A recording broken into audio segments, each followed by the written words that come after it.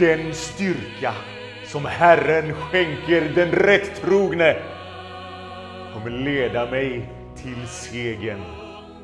Det finns 29 syndare som väntar på sina rättmätiga belöningar. Men jag, Levi Petrus, kommer den 6 februari stå som segrare och mottaga Stockholm Wrestling-titeln.